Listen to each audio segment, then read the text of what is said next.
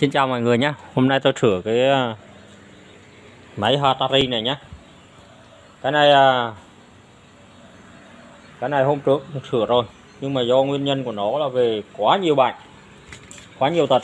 Nói chung là ờ, Chạy lúc sửa thì chạy được Cứ chạy về vài ba bữa lại cứ hiện tượng là cứ à, tít tít và không chạy được. Nói chung là khi đưa ra phơi nắng này được à, thỉnh thoảng này là ừm, thỉnh thoảng lại khổ lại được. Nói chung là nó cũng không chập không chạm gì hàn hết rồi. Nói chung là làm mọi thứ rồi.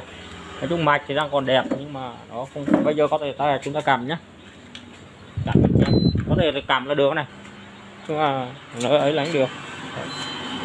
Bây giờ là được này. Nó ngất ngờ ngất ngưỡng nó không à, không đúng một trường hợp nào ạ. Đấy bây giờ bình thường nhé các bạn nhé. Chảy là ok nhé. Ờ, à, vì vậy chúng ta nên à, tiến hành sửa nhé.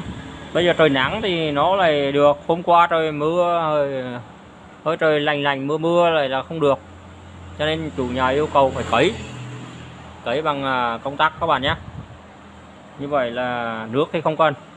Nước thì chúng tôi có thể làm được nhưng mà thôi à, họ yêu cầu vậy cái này à, cũng là do chữa nhiều đi chữa lại nhiều lần cho nên họ chán này. Mình à, đưa về à, bán sát trộn nhưng mà đây là tôi nói để tôi làm cho à, chuyển thành sang cơ nhé cái này chuyển sang cơ để làm cơ nhé cơ thì bền vững lúc nào hỏng là thôi nhé như vậy là họ không bởi vì cái này khá lâu rồi. Thời gian của nó năm bảy năm rồi. Cho nên à, tôi chúng tôi tiến hành à, cấy nhá mời các bạn đón xem nhé bây giờ chúng ta sẽ tiến hành mở xuống. Đây nhá, Hitari nhá. Chúng ta tiến hành mở những cái này đi. Không biết mở đâu ui, ai là nhét chứ dưới này đấy. Ta lại tiến hành mở nhá. Đấy. Bành nó rất nhiều các bạn nhá. Nói chung nhiều bành vặt bành lắm nhá đấy cùng à, đưa đi nhiều thợ làm rồi nhưng mà không được. Và chúng ta sẽ tiến hành à, cấy ấy nhá. Cấy cấy cấy à.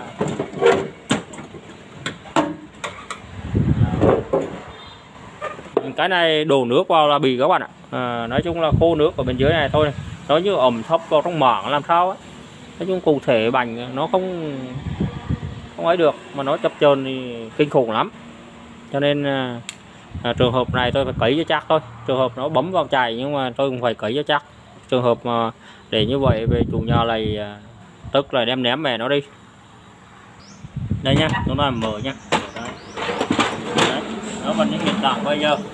Chúng ta chúng ta thể tiến hành quan trọng là bộ này bộ điện này.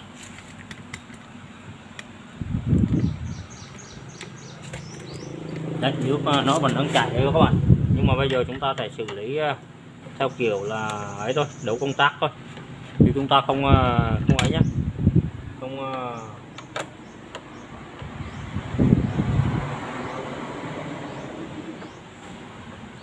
mạch khá là đẹp các bạn, nhưng mà rất là nhiều bài.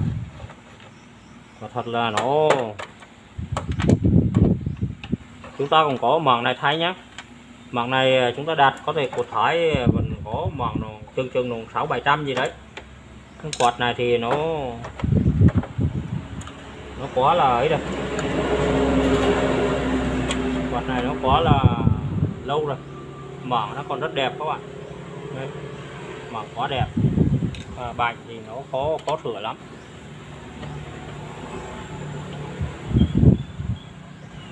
Chúng ta phải bàn ra hết nhé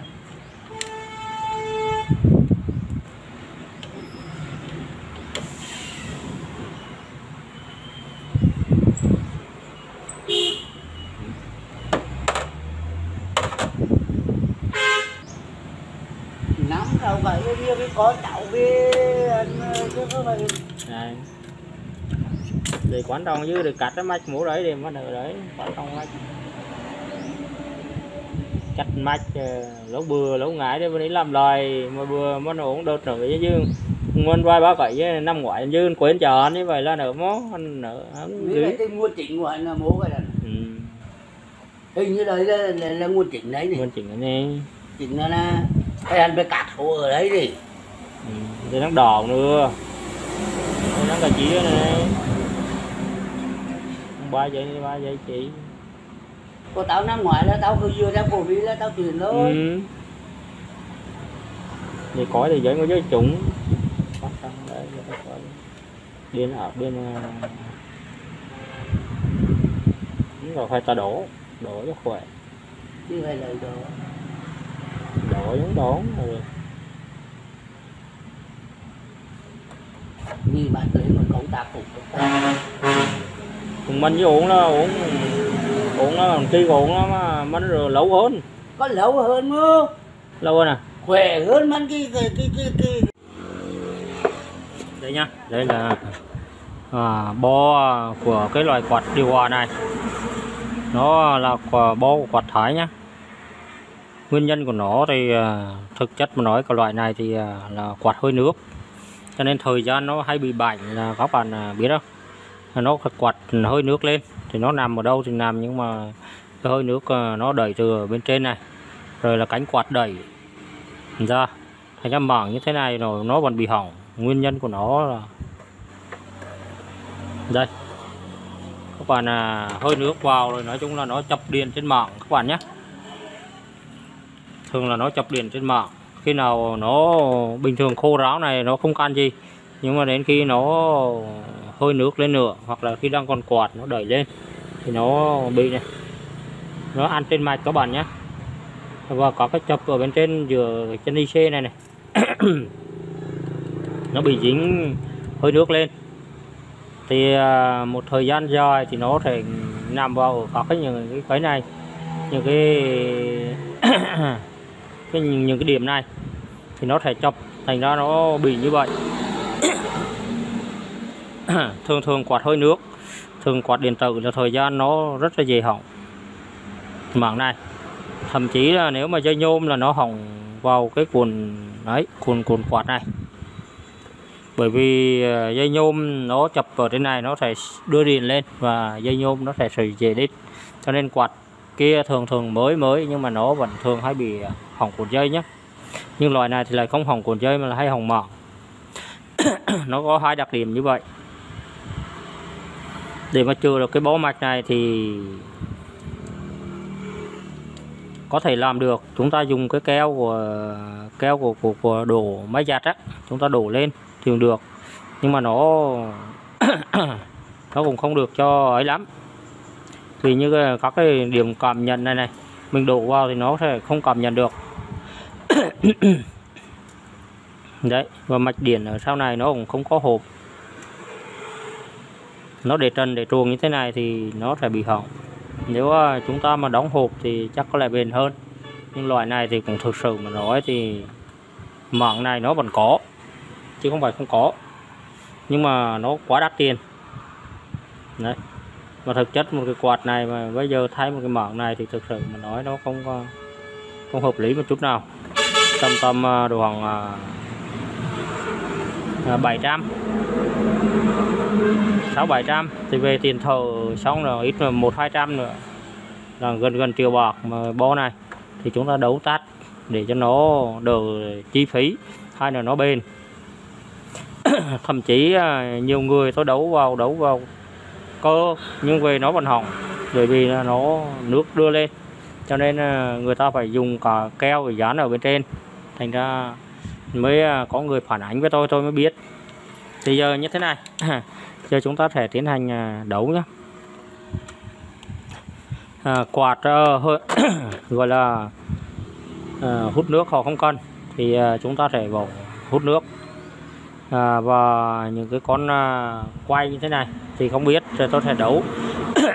Nói chung là họ muốn quạt nữa thôi bởi vì cái này lâu rồi mà hư trục trặc là nhiều lần này sửa đi sửa lại quá là nhiều rồi người ta vất vả vì chán.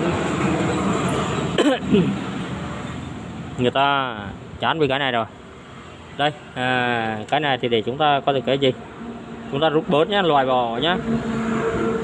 Ba cái này là nó cảm biến à, mực nước và qua cái này, nó cảm biến mực nước cho à, ở bên dưới à, dưới dưới à, dưới mực nước này, dưới bơm này. Chúng ta rút này, không cần này. Chúng ta loại một đường này. Trong đường thứ hai. Đường thứ hai là của bơm này. Bơm bơm nước này. Bơm nước đã hỏng rồi, nói chung là cũng đã hỏng rồi, nhưng mà người ta cũng không dùng này. Rồi vút này. Cái này là cái tăng ốp các bạn nhé. Cuộn này là cuộn tăng ốp nhé. Để tôi xem. Đây nó giống như con tủ mà là bốn chân. Đây. À, không biết à, Nevin chi đây. Con gì à, tôi không hiểu là nó tên gì. Nhưng điện áp của nó vào là 220 hay đến 240 nhưng đường ra là DC âm dương âm nhá. Âm DC tức điện âm à, 3.0 đến 4.0 kV tức là điện âm ở đây ừ. để mà cái này là thuộc về cảm biến các bạn nhé. Cái này cảm biến của cái quạt ở đây. Cảm biến của quạt ở đây. Và cảm biến của hơi nước ở đằng trước này. Đấy. Thì cái này ta không cần, bởi vì cái này chúng ta không cần là hỏng cái này ta đấu thành cơ, không cần cảm biến này nhá đấy rồi ra rút đi. Ừ. bây giờ chỉ còn lại là ba mũi này. Cái này thì của vậy vậy chúng ta để sau. Chúng ta loại đi. Đấy à, vậy chúng ta có thể đấu ờ, nguồn sau nhé, bây giờ chúng ta tiến hành có một chân nguồn và một chân ấy. Nguồn và bốn dây số. Một dây chung. Nó bốn số các bạn nhé. Để biết số không thì chúng ta phải nhìn vào đây. Nhìn vào số con từng con chi ác này. Con chi ác này là chạy cho số này. Nói chung không, số thì vậy thôi. Nói chung nó như vậy. Số hoặc vậy. Đây, nó một chân của chi ác này. Vào chân này. Một chân của chi ác vào chân này tức là mũi chân của chi ác, nó vào vào mũi số nhé còn dây chung điền thì nó sẽ vào đây. Nó sẽ có nút nguồn ở đây. Và chúng ta để xem từ nó đi đến đâu. Đây. Nó ba cái đi chung. Còn đường này nó sẽ chạy về đâu nữa?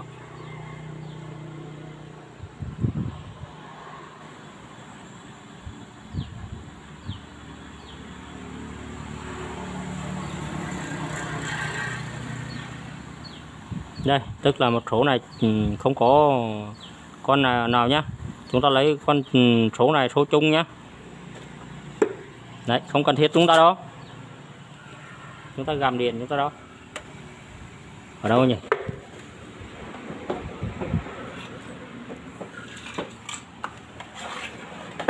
Không có lý do gì mà tao không đo à? Đấy tốt rồi. Chúng ta bật điện 220 Đấy, dây chung này nó hầu như nó không có. Chúng ta đo vào một chân vào chân này. Còn một chân chúng ta ra cả hai dây này. Đấy nó lên các bạn này.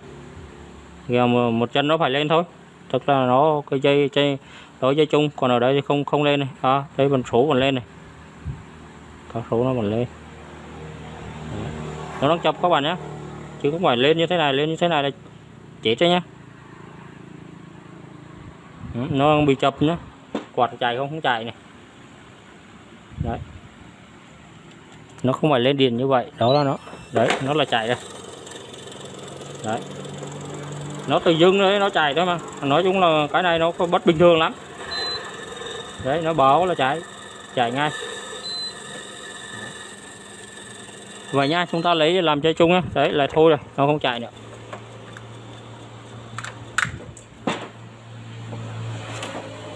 Bây giờ ta mở một cái số này số này ra.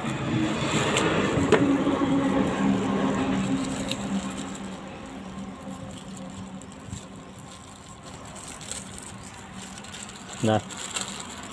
Ta không có số nguyên của nó này ta lấy dây giật được nhé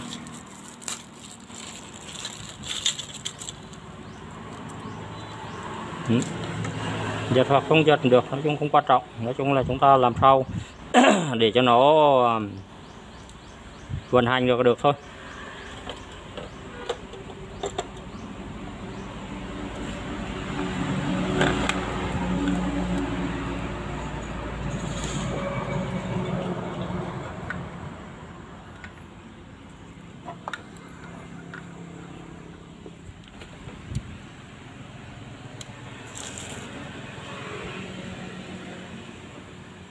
Chúng ta làm à, này nhé chúng ta vào vào vào vào vào nhé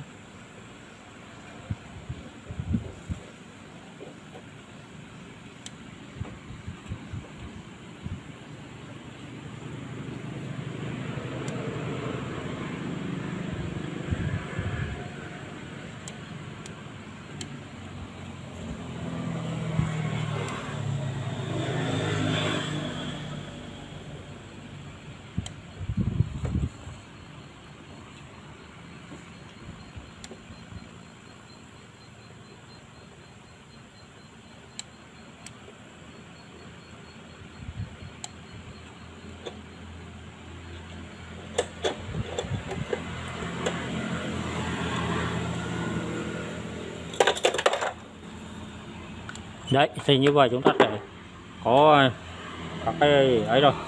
Bây giờ chúng ta cắt dưới nào dưới đỏ dưới đỏ đó rồi, thì chúng ta đấu thế nhá. Một, hai, ba, bốn. Chúng ta lấy ba thố thôi nhá. Ba thố một chung thôi nhá.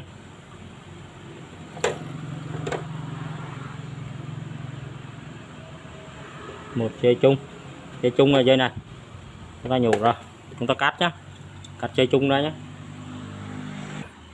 bây giờ ta cắt một dây chung. Đây. Nó đấu ra nhá. Đây, dây điện nguồn nữa các bạn nhé chúng ta cắt một sợi nhé đấy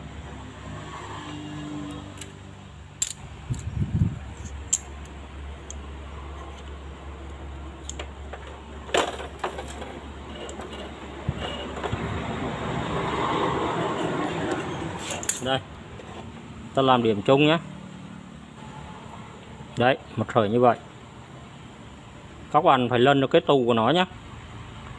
Cái tù của nó thì à, ở đây, nó có một hai dây này, một dây và vàng một dây đấy tù của nó nằm đây nhá tù của nó nằm đây nhá rồi. Bây giờ à, chúng ta tiến hành à, số này số chúng ta lấy số mạnh nhé từ số yếu nhé số đen đấy có là số yếu nhất. Thì chúng ta lấy số 123 nhé và một dây nguồn này nhé dây nguồn thì chúng ta phải cắt đi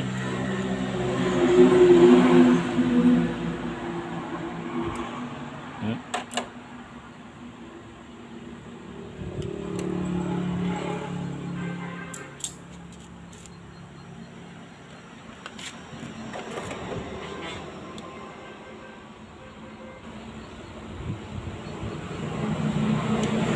rồi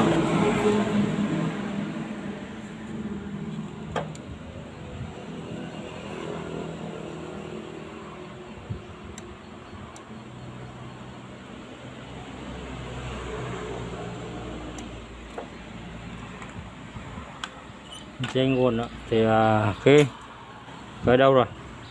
Rồi công tắc này. Đây nhá.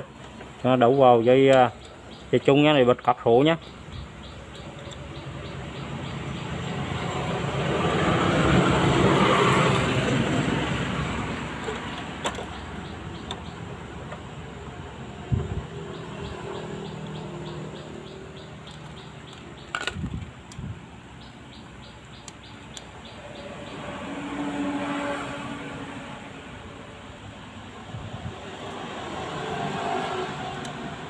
Rồi nhá.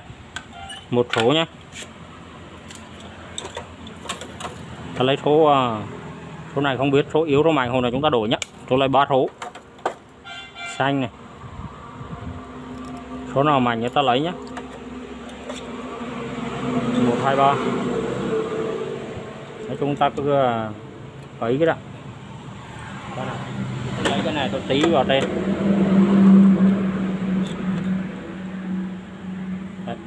Bên nào sang được các bạn nhé. Lấy số ờ,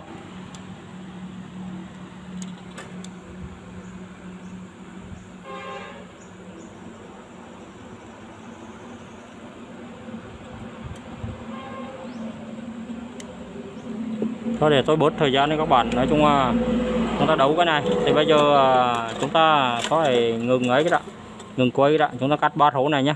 Đấu vào đây. Còn số này thì ờ, ấy, chúng ta phải cắt cắt luôn nhé cắt luôn nhé. Đấy. Này màu nào thì chúng ta cho ra màu đấy. Chúng ta nhìn đấy cho ra màu. Đấy. Và chúng ta đấu nhá. Đấy như vậy được ok các bạn nhé ba số nhá. Ừ, xanh à, đỏ tím nhá. Thì chúng ta đấu như vậy. Thì chúng ta để thử cái thử như thế nào. Chúng ta cầm điện nhá. Thấy chạy liền. Rồi. đấy số à tôi để tôi phải quẹt cái này. êm nhá rất êm nhá. Ừ. vẫn đang còn quay nhá. Tắt này. Đấy. Các bạn thấy không? Còn quay về phía này mới, mới thấy được.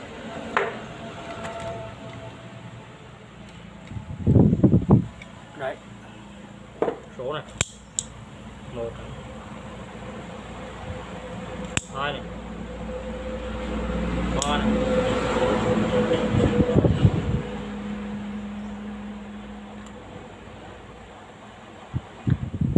như vậy là ok các bạn nhé. Như vậy là rất là ấy được rồi.